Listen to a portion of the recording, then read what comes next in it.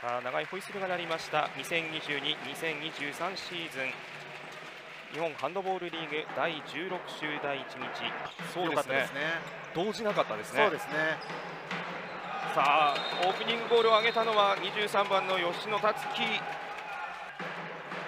17番の中川そしてルーキーとは思えぬ活躍を見せる藤川。その藤川が決めていった藤川選手、あの外に行かないとシュート早く打てますので、はい。あれを潰しに行きたいですね。さあそして北攻め自ら中央を抜いていきました。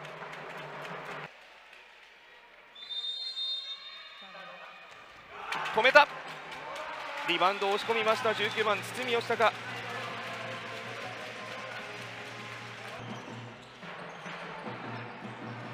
あここはボールを奪った。豊田社大藤本が走っている藤本純喜決めていった藤本、今素晴らしかったですね。中川レフトバックの位置には15番の藤川。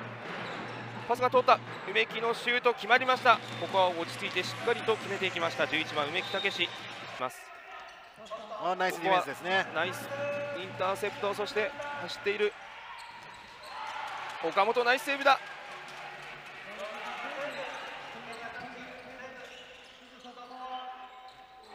こちらもナイスセーブ関口。ザ守護神。変えてちょっと落ちましたかね、波が。ちょっとリズムまだ乗れてない感じですね、しかし渡辺。決めました。渡辺この試合3点目。走ってるベテランも珍しいですよね。そうですね。なんかちょっと同級生なので悔しいです。はい。さあそして決めていきました。ただいまの得点17番の中川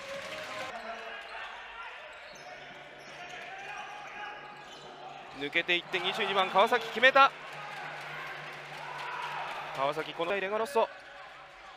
堤。川端。浜口のシュートが決まった。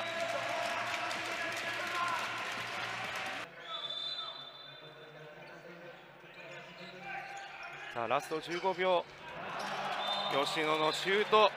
勢いが止まりません。堤のシュート決まった。ここは見事なブザービーター決まりました。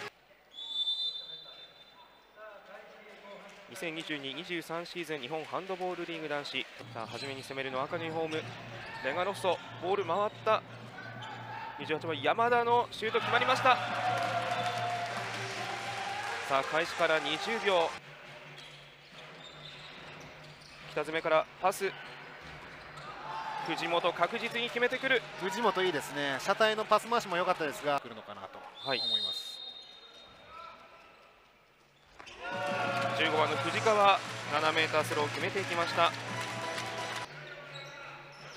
2対2ですね。はいあーフィジカルですね。ここは山田の得点ボールの上手な選手なんですよね。はいあーナイスキーパー。加藤ナイスセーブあ燃えましたー加藤選手ナイスキーピングですね。はいボールをキープしたレガロッソそうですね。しっかりポジショニング。そう。ここはシュート押し込みましたガッツポーズ17番中川の得点焦ったらダメですね。そうですねはい。玉井のシュート決まった玉井ここも素晴らしい間合いでシュートを決めていきました、ね藤本から北爪強からのパス通った。山田落ち着いて決める。この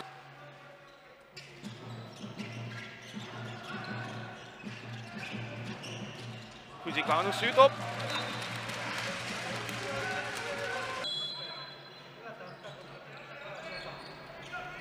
北爪シュートを放っていきました。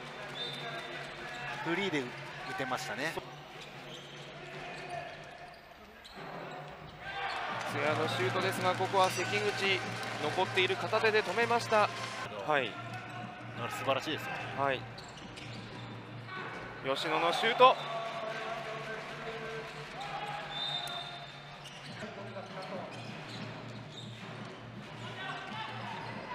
北爪のシュート。決ま北りました。爪選手の今のオフ・ザ・ボール素晴らしかったですね、はボールのないところでの動き最高ですねさあここでブザー